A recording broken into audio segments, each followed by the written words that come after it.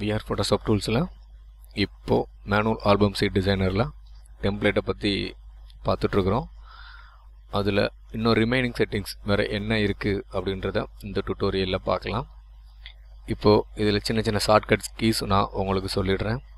First இந்த தம்னையில் வந்து நீங்கள் பெருசாக சிறுசாக பார்க்கணும் அப்படின்னா கீழே ஜூம்க்குன்னு தனியாக கண்ட்ரோல் இருக்குது அப்படி இல்லை அப்படின்னா உங்கள் கீபோர்டில் ப்ளஸ் மைனஸ் அதாவது பேக் ஸ்பேஸுக்கு பக்கத்தில் இருக்கிற ப்ளஸ் மைனஸ் நீங்கள் அதை ப்ரெஸ் பண்ணாலும் ஜூம் ப்ளஸ்ஸு மைனஸ் ஆகும்.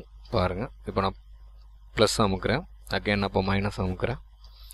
ஸோ இதில் நீங்கள் ஜூம் பண்ணி தம்னைல்ஸை பெருசாக அதாவது ஃபைலோட கான்டென்ட் என்னன்றதை நீங்கள் பெருசாக்கி பார்த்துக்கலாம்.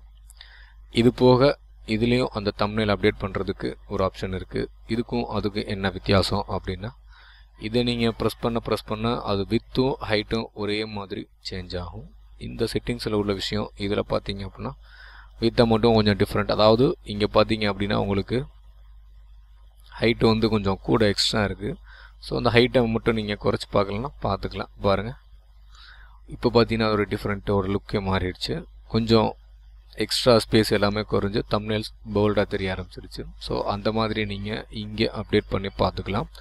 ஸோ செட்டிங்ஸில் இந்த thumbnail size different with different ஹைட்டில் நீங்கள் தம்னேல இங்கே பார்த்துக்கலாம்.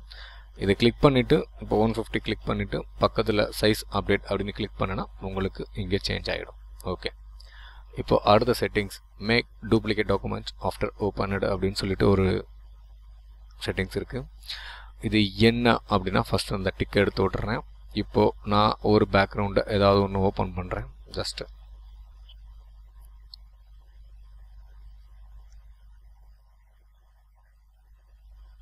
ஓகே இப்போது டாக்குமெண்ட் ஓப்பன் ஆயிடுச்சு.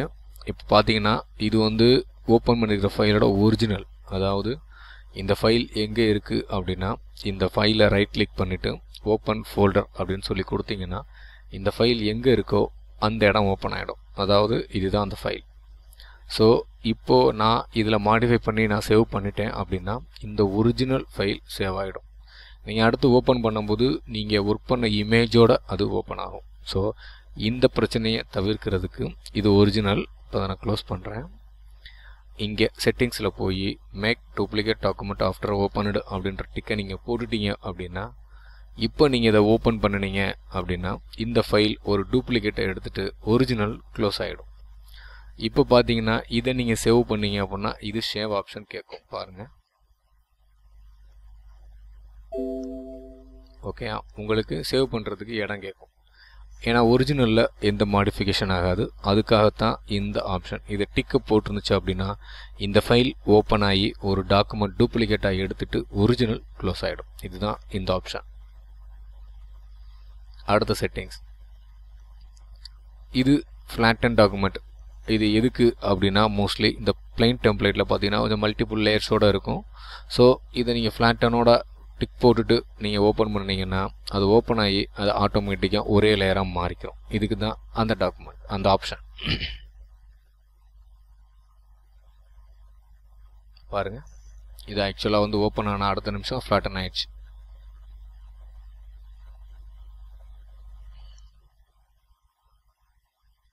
இப்போ பாருங்கள் நான் பண்ணி காட்டுறேன். இப்போ நான் இந்த ஆப்ஷனை டிக் எடுத்துகிட்டு இந்த ஃபைலை நான் ஓப்பன் பண்ணி காட்டுறேன்.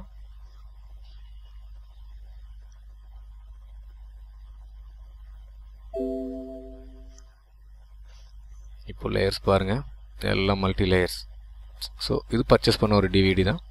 இப்போது இதையே நான் வந்து இங்கே ஃப்ளாண்டட் அப்படின்ற டிக்கு போட்டுட்டு இப்போ நான் அதை ஓப்பன் பண்ணுறேன் அப்படின்னா அது ஓப்பன் ஆகி டூப்ளிகேட் ஆகி ஃப்ளாட்டன் ஆகிருக்கும் அதாவது ஒரே லேயராக மாறி இருக்கும் இப்போ பாருங்கள் ஓகே இதுதான் இந்த டெம்ப்ளேட்டில் செட்டிங்ஸில் இந்த ஃப்ளாட்டன் டாக்குமெண்ட்டுக்குரிய செட்டிங்ஸ் அதாவது அடுத்த செட்டிங்ஸ் அப்படின்னா டெலிட் ஆல் ஹிடன் லேயர்ஸ் இது எதுக்கு அப்படின்னா ஃபார் எக்ஸாம்பிள் நம்ம வெளியில் பர்ச்சேஸ் பண்ணுற பேக்ரவுண்ட்ஸில் பார்த்தீங்கன்னா கப்புள்ஸை மறைச்சி வச்சுருக்கலாம். சில பேக்ரவுண்ட்ஸ் வந்து மறைச்சி வச்சுருப்பாங்க. ஸோ அதனால் சைஸு கூட இருக்கும். ஓப்பன் பண்ணும்போதே ரொம்ப ஸ்லோவாக இருக்கும். நம்ம அடுத்து அதை தெரியாமல் எடிட் பண்ணிவிட்டு திருப்பி நம்ம சேவ் பண்ணும்போதும் டைம் எடுக்கும் ஸ்லோவாக இருக்கும். ஸோ அந்த மாதிரி பேக்ரவுண்ட்ஸ் ஓப்பன் பண்ணும்போது அந்த மாதிரி ஹிடன் லேயர்ஸ் ஏதாவது இருந்துச்சுன்னா டெலிட் பண்ணிக்கோ அப்படின்னு சொல்கிற கமாண்டு தான் இது. இப்போது நான் வந்து ஒரு சாம்பிளுக்காக இப்போ ஃபார் எக்ஸாம்பிள் இந்த டிசைனை நான் ஓப்பன் பண்ணுறேன்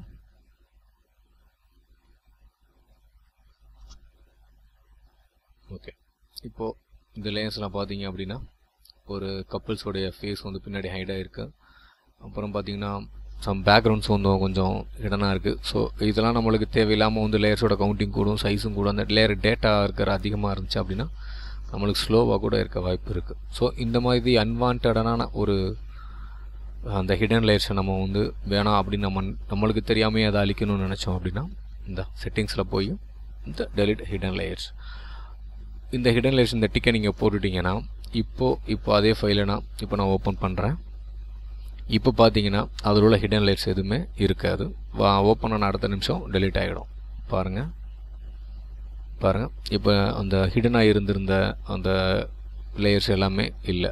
இதுக்கு தான் இந்த செட்டிங்ஸில் உள்ள டெலிட் ஆல் ஹிடன் லேயர்ஸோடைய ஆப்ஷன் ஓகே இப்போது அடுத்த settings